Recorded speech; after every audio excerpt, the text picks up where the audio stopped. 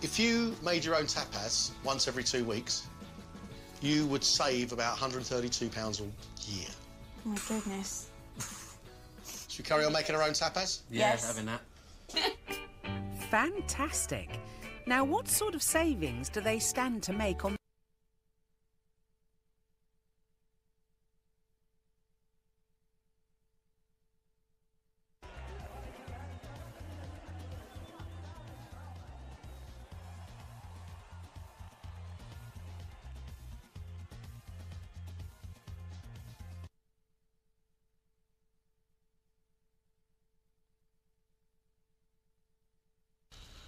Serving up this steak to four people will save Rob and Jodie over £10.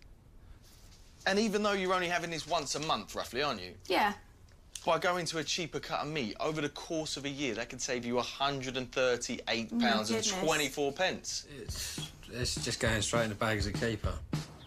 In fact, there were only a few swaps that the Haynes turned down flat. The bacon that wasn't bacon was a bit of a turkey.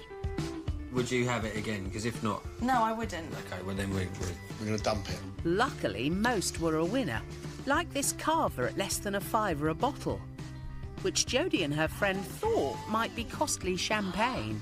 Spanish cava.